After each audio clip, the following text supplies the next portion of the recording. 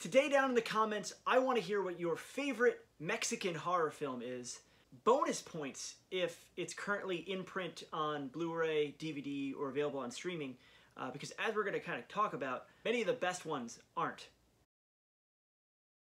Hello, I'm Adam Cesare. I am the author of a bunch of different books that you can go uh, read and order and listen to the audiobooks right now, uh, and the upcoming Clown in the Cornfield from Harper Teen. Before we start, real quick, don't usually do the sales pitch up front, uh, but a lot of people have reached out either through DMs or through email or through my website uh, and have asked what is the best way uh, for them to pre-order Clown in the Cornfield.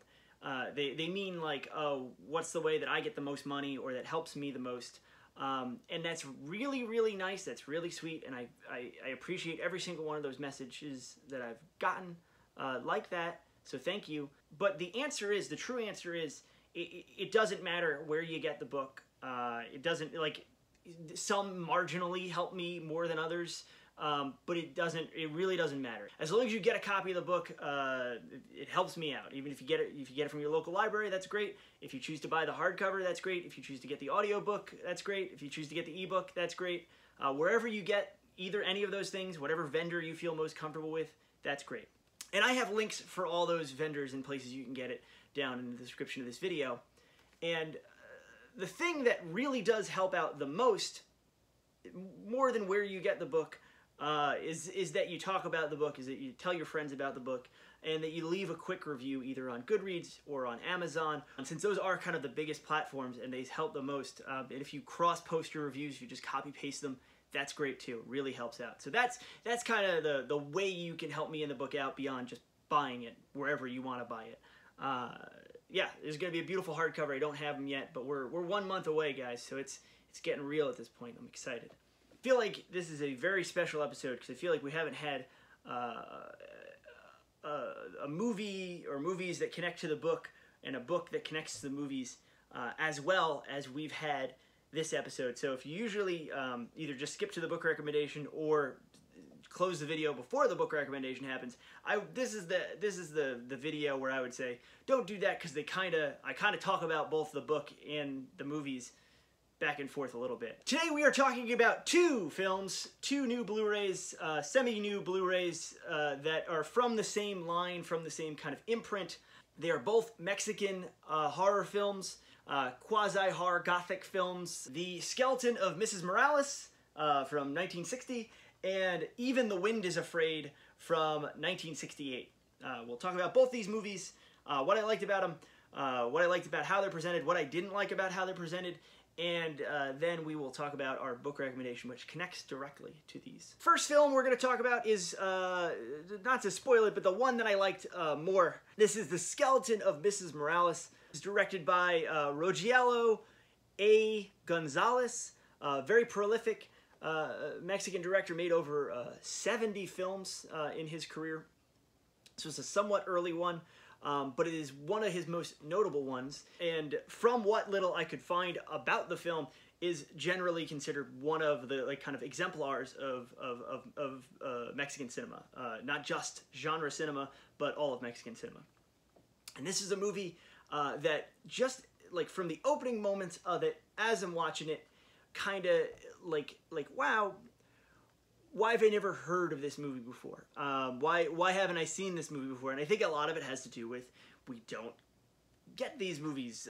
This is not like kind of like a Criterion uh, edition uh, presentation of this film, and a lot of these films and a lot of uh, Mexican cinema and, and, and, and Mexican commercial cinema, we don't have an outlet for nice, uh, cleaned up restored editions, representations, reappraisals of these films. Um, and that's something that VCI seems to be changing a little bit with this. It's Both of these movies have this banner on them. Clásicos del Cine Mexican. Uh, I took six years of high school Spanish and uh, I took it on Long Island, New York, so my pronunciation is just so terrible, so bad. Um, but uh, this is a new label. They've released like four or five movies so far. I think they kind of batched them, uh, did them a little bit all at once, and maybe they're going to do more. I chose the movies that looked most genre. Some of them are just uh, are, are, dramas, um, or, or uh, I think there might be one Western one. They aren't um, they aren't restricted. These aren't classics de cinema de terra uh, de Mexico. Uh, these are not. Um, it's not explicitly a horror or a genre cinema line, but VCI has done a lot of uh, horror movies. Their their edition of City of the Dead's really really good. Kiss of the Tarantula, uh, you know, the, the wonderful Greydon Clark, Satan's Cheerleaders. These movies all kind of got nicer additions with special features and, and, and context and all that than these um, these recent uh, Mexican cinema classic uh, line seems to be being treated to. Now, I'm sure part of that is because they're slightly older films. Um, part of them is because I'm sure um, more explicitly horror films have more of a um, of a genre fan pull, but also just because these aren't as well known here in the states. So there's probably not that much reason for VCI, which is a, a good label that I like. A lot of the uh, products they put out. I'm rambling a bit, but when this movie first started, you're treated to a uh, title card, and it's based on an Arthur Machen story, and and us horror fans and and uh, we the Great God Pan and all these these kind of people who like um, early uh, 1900s uh, horror fiction like Arthur Machen. And there's a real kind of Hitchcock meets EC Comics meets, uh, you know, kind of, kind of Tales from the Crypt, kind of uh, black comedy uh, feeling to this movie. And it really did take me by surprise because it plays with genre and it plays with your expectations and it plays with the audience in a, in a very sly way, a very um, a way that that feels more nuanced than when you kind of when you have these kind of late 50s early 60s um, costume melodramas. There was something there that, that felt a little bit more playful that felt maybe like a, a william castle versus a um, versus a hitchcock but also just like generally more sumptuous and better put together film than, than maybe most William Castle movies, even though I love William Castle. Uh, I really, really liked this movie. Uh, the plot, very briefly, Dr. Morales and his wife, Mrs. Morales, and they are in this, uh, I don't want to say completely loveless because there's clearly was love there at some point. They're in this kind of loveless uh, uh, relationship where Mrs. Um, Morales has become very religious and has all these different neur neuroses and, and quirks and um, problems with her health. She has a bad leg, um, and she is she is when we first meet them, she's kind of slowly begun to turn the town and the people in her church group kind of against her husband. She's like poisoning the well against her husband, where we're not quite sure if what she's saying is true, but some of this stuff seems a little outlandish and some of it doesn't match up with what we're seeing of this guy. And Dr. Morales is a taxidermist, so there's this really cool, really foreboding set that we're on where the uh, you know above his workshop is there is where they live and then below the workshop is all this cool animal bones and all the different tools of taxidermy that look very sinister and we know are going to kind of come into play in the third act. And she's she's kind of pushing him and pushing him and pushing him and we get to a point in the movie where a murder may or may not take place and the rest of the movie is trying to figure out just actually if there was a crime and what the crime was and who did it and why and if they're going to get away with it. Um, a pretty simple story, 90 minute movie, really moves fast. Uh, a pretty simple story, but all it's all just in that execution, all just in how beautiful this black and white photography is, um, and how um, funny and, and, enjoyable the performers are. Uh, it is. I really, really, really can't overstate how much I like this movie. If you're gonna pick up one of these two Blu-rays, if you like films of this era, if you can, uh, if you don't want something that's necessarily all out blood and guts, I really, really, really recommend uh, The Skeleton of Mrs. Morales.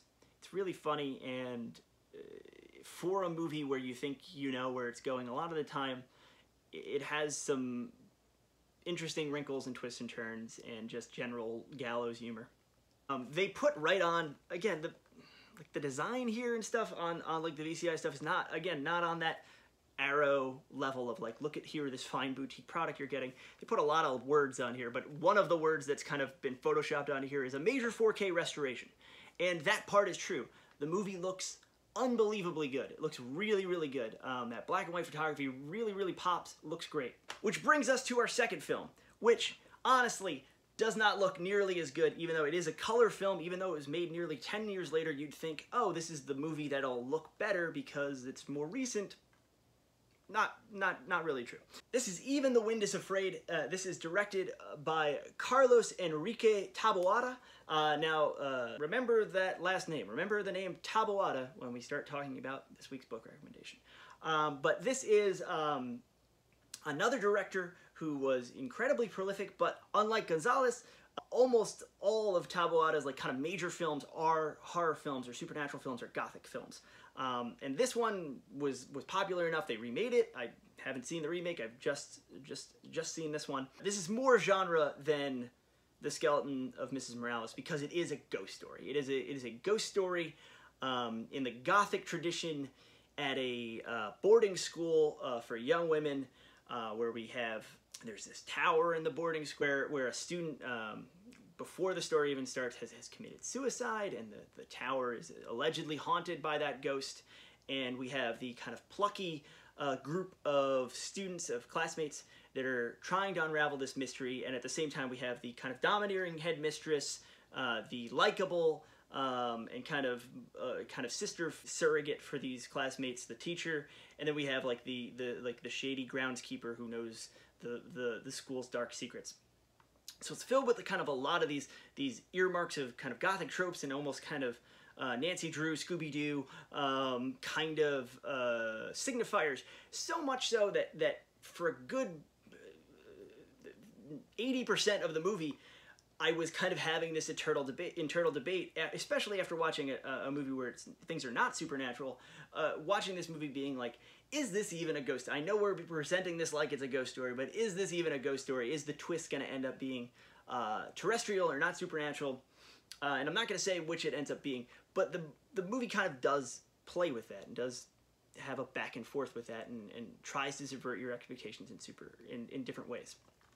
Um, where uh, the skeleton of uh, Mrs. Morales uh, completely engaged me, kind of had me locked in from from from day one. Uh, Even the Wind is Afraid starts out with like such promise where it seems like it, it, it might be like a almost like a 10 little indians setup where we have a sprawling cast of, of, of classmates that you know might get whittled down or something like it was it's unclear what this was but it does have just a general hangout movie vibe to it uh, for the first hour of the film. And I, I you do really like the the kids the girls. They're kind of charming and they, the, the best scenes in the movie really are just little slice of life scenes that, that are that just feel very um, 60s uh, kitsch enjoyable characters enjoyable uh, actors with like their hair all all done up and and being uh, kind of mean to each other but kind of nice to each other. Uh, so that that portion of the film is enjoyable but it does start to kind of you're looking at your watch a little bit being like is there gonna be genre stuff in this movie. And eventually there is, and eventually there is an introduction of a plot element that I really didn't see coming, that I really, really enjoy, um, that that you almost, or at least I did, wish was in more of the film. I wish more of the film had been spent in that last kind of 25 minutes where there are clearly there's clearly something very um, horror going on. Uh, clearly, um, a direct mystery to be solved, a direct threat, a direct peril to these characters. Uh, but for so much of the movie, you don't have that. Not that not that movies need like the highest stakes or need to be the bloodiest, craziest things, but there is a certain uh, like sunniness to this movie that just it's just that way the whole time. There's like a couple scenes in the the clock tower that are that are that are creepy, but it's not trying to it's not trying to you know scare your pants off this movie. It's just kind of almost a pleasant diversion, uh, which there's nothing wrong with that. So I liked the, both of these very much. I would uh, definitely give a more rousing endorsement to to the skeleton of Mrs. Morales.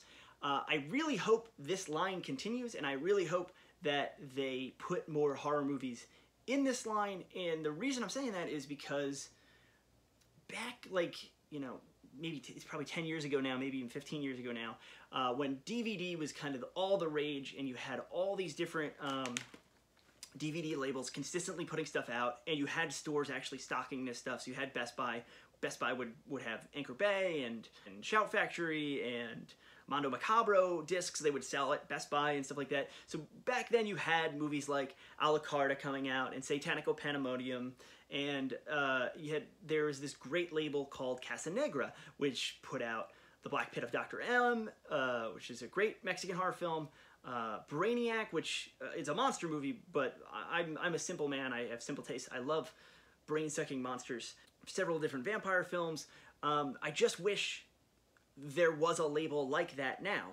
Um, and Vinegar Syndrome and, and all these other companies are kind of picking up the slack a little bit, but it really does still seem like a lot of those movies are not available anymore. Um, and they were on DVD at one point, and you'd kind of, the way the cycle goes of like, oh, well, now, uh, you know, a different label has that, and, you know, actually, like, Code Red's putting that out. You'd, you'd think that they would kind of get shuffled back into the, the cycle, but because there is uh, I guess slightly less of a demand for foreign language films, and then among foreign language films, it's like Italy and Spain and France kind of get the the bigger uh, ticket uh, releases with like Redemption and them.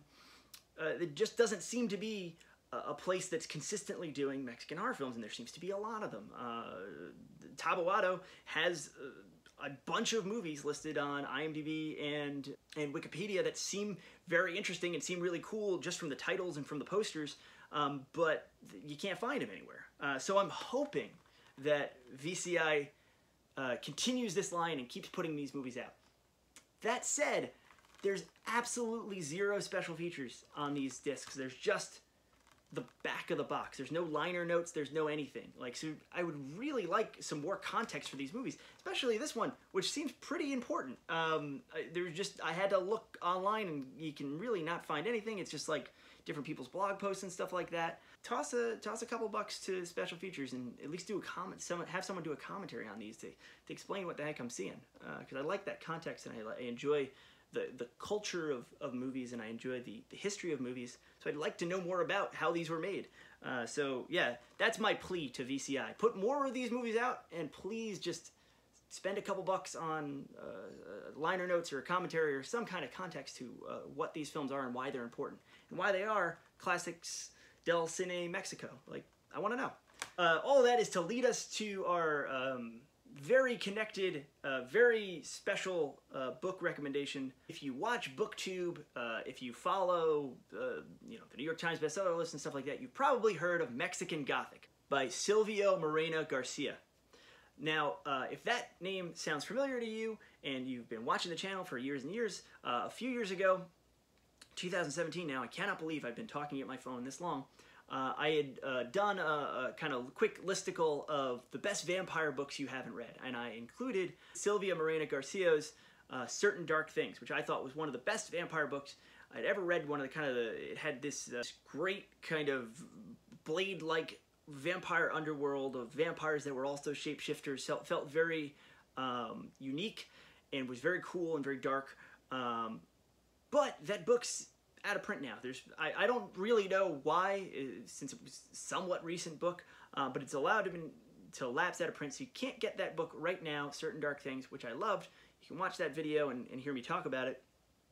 Um, but uh, the good news about uh, Mexican Gothic coming out and being a hit and everyone liking it is that uh, that uh, certain dark things is coming back into print and Tor doing that through their new horror line. So there you go. Everything has a happy ending. Uh, Mexican Gothic is uh, uh, it is what what it says on the tin. It is a, a Mexican Gothic uh, story, a Mexican Gothic horror, a Mexican Gothic romance, whatever you want to call that specific subgenre of books with heroines and petticoats either walking away from or walking towards uh, dark and foreboding castles. It is that kind of book. And I initially was a little scared off by that title and that idea, but I, I love this author's uh, work, and I, I, was very excited to read it anyway. And it was like very much not to be like the kind of thing of like, oh, theme is to keep me away from uh, a book. And I'm very, very glad it didn't because this is a very full-blooded horror novel. Um, it is, it does engage with those gothic archetypes and those gothic tropes, but it does so in a, what I would call, um, even though the book's set in the 50s, um, it does engage with those those tropes and those archetypes in a very modern way. It feels like, and it it, it in in both the pacing and the thematics feel very now and very modern. Um, I really really love this book. It is about a, uh, a young woman named Noemi. Wait for it, Taboada, and she is kind of charged by her father to um, to go investigate this weird letter uh, that he that he has received uh, from her cousin. Her cousin uh, married this guy that they don't know a lot about. Uh, lives they live in Mexico City. Lives kind of in the boonies in this um, this English style estate um, that uh, that has servants and it has a whole family living there. Um, and she's she's she's personally invested in it because she wants to kind of she is this this this socialite rich girl who kind of wants to who wants to continue her studies wants to continue college. Um, and the dad basically says well figure this let's figure out this family business and then you know you can you can continue on. So she's invested in this in that way. Uh, but also she loves her cousin and she misses her cousin. And when she arrives at this um, you know initially very spooky uh, and only gets spookier uh, house full with these full of these um, these this family that the, the cousins married into that's very strange. They're these this kind of imperialist family that owns a silver mine, and there's all this kind of there's the the brother that she that the cousins married. There's the other brother who's like uh, a nicer but uh, more tragic version of, of, of the of the bolder brother. Um, there's the patriarch who's this like rotting husk of a, of a man who's always sick, um, who's who has like a fleet of servants taking care of him. There's the mother that's just super mean uh, and trying to clearly contain family secrets and contain uh, what Noemi sees and does, and uh, when she can go to the village and when she can do all this different stuff. Um, and then there's Noemi who just wants to kind of get her cousin back to health. The cousin sent this kind of a little bit cryptic, crazy letter maybe there's something wrong with her mentally. Uh, they're saying there's something wrong with her physically. Uh, they're saying she has that, that she's ill and she just needs rest. And there's this doctor that's that that seems like a quack, and he seems like he's totally uh, kind of under the thumb of the family. There are um, weird discussions about eugenics and uh, Darwinian theory, and then uh, weird discussions about psychology and Jung and and uh, and Freud, and then there then start these dream sequences, and usually if you if you if you read enough horror fiction or if you listen to enough horror criticism, um, you'll find you'll inevitably find the the person that that vehemently argues against dream sequences. Like, oh, you know, if they don't add anything to the story or they're just like there to to be you know cheap scares or whatever when the art when the author couldn't think of anything else. Like the like the, you'll hear that argument pop up again and again.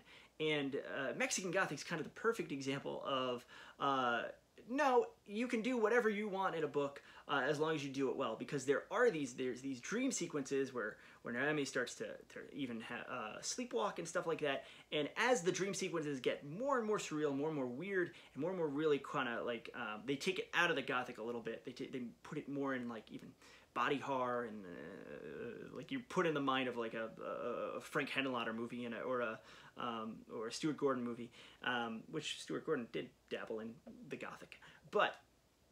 You, like as these dream sequences kind of intensify and as they get more explicitly linked to as she's learning about the history of this family that she's living with and investigating um, you see the why you you want these dream sequences in there um, and and how they directly relate to what happens later in the novel when things kind of things get really things get physicalized like around like the 60% mark of the book.